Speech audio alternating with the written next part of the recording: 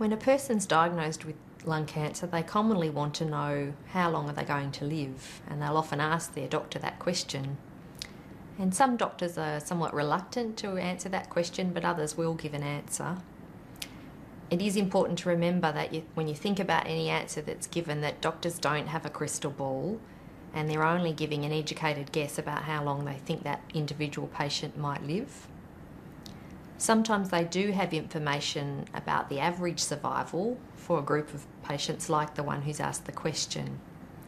And a term that you often hear used is the median survival. Now, the median survival is the time that half or 50% of the patients will live for.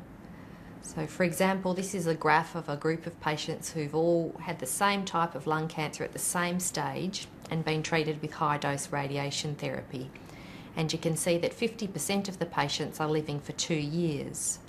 But it does mean that half of the patients are going to live for a shorter period of time, but half are actually going to live for a longer period of time. For example, if you look at the far end of the graph, there are a number of patients out here, not many, but a small number who are living for 10 years.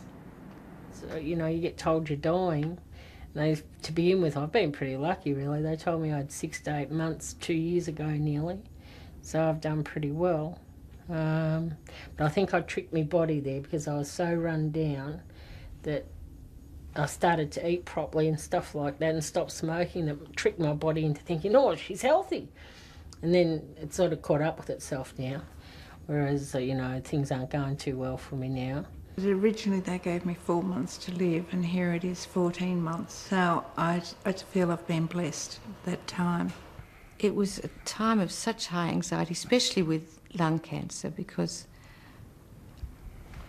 by the time I informed myself about the um, survival rates, which was quite early on in the piece, one did feel the odds were stacked against us a bit. So David never lost a positive outlook. I found it more difficult. Um,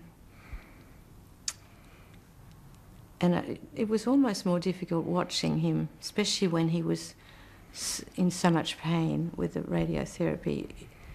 I would have, I think I would have swapped places. It was very hard to watch.